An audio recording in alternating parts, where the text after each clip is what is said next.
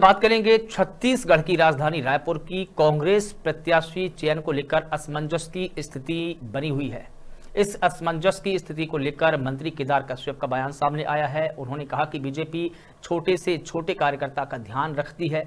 छोटे से छोटे कार्यकर्ता सांसद बन जाता है, विधायक बन जाता है, मुख्यमंत्री तक बन जाता है। यह केवल भारतीय जनता पार्टी तक ही संभव है।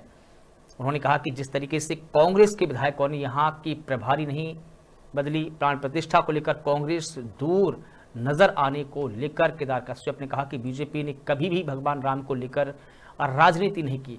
भगवान राम हमारे आस्था के केंद्र हैं, भगवान राम हमारे आराध्य हैं। रायपुर से भोलेश मिश्रा की रिपोर्ट। देखिए, भारतीय जनता पार्टी ने कभी भी भगवान राम को लेकर के राजनीति नहीं की। भगवान राम हमारे आस्था के केंद्र हैं और हमारे क्यों? पूरे देश की आस्था के केंद्र हैं। सबकी मनसा है कि भगवान राम का मंदिर बनना चाहिए। लेकिन कुछ लोग ऐसे हैं, कुछ पार्टियाँ ऐसी हैं, जिन्होंने भगवान राम के अस्तित्व पर प्रश्न चिन्ह खड़ा किया। और आज यदि भगवान राम का मंदिर का निर्माण होता है 500 वर्षों के बाद तो तकलीफ़ उन्हीं को होगी जो भगवान राम के अस्तित्व पर प्रश्न चिन्ह खड़ा कर रहे हैं।